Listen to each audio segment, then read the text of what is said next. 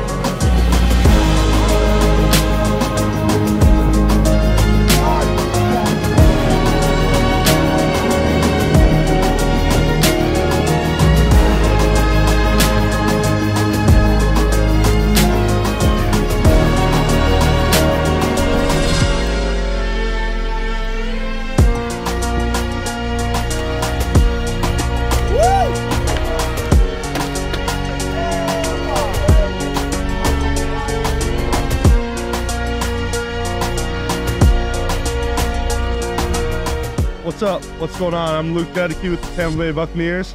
Tristan Wirfs with the Tampa Bay Buccaneers. We just got off the boat with uh, Hang 'em High Sport Fishing here in Crystal River and had a hell of a time out there. Catching red snapper, Almaco jacks, uh, some mangrove snapper.